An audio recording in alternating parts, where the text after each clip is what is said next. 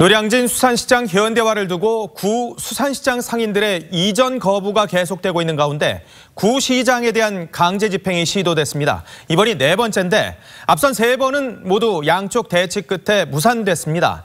현장 취재 기자 연결해 보도록 하겠습니다. 성민혁 기자, 아, 지금은 대치 상황이 끝났습니까?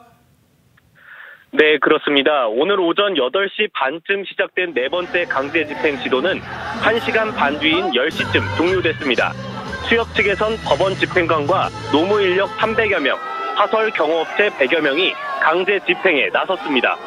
이에 맞서 구시장 상인과 민주노련 관계장 등 500여 명이 시장 입구를 지키며 막아서면서 대치 끝에 강제 집행은 무산됐습니다.